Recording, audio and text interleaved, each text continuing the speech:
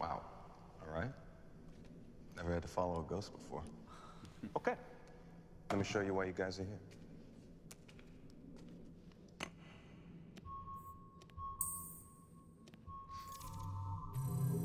These are images of archaeological digs from all over the earth.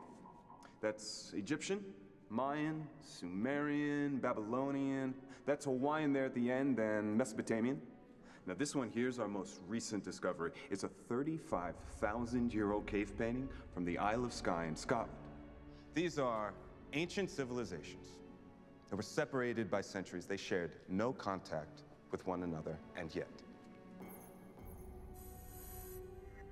The same pictogram showing men worshiping giant beings pointing to the stars was discovered at every last one of them.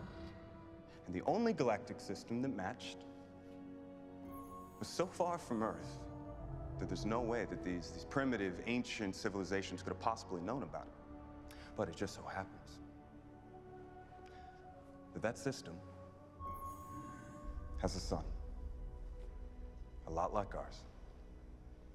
And based on our long-range scans, there seemed to be a planet. Just one planet with a moon capable of sustaining life.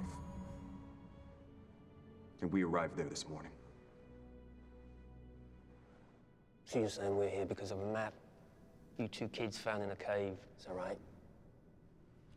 No. Yeah. Um, No, not a map. An invitation. From whom? We call them engineers. Engineers?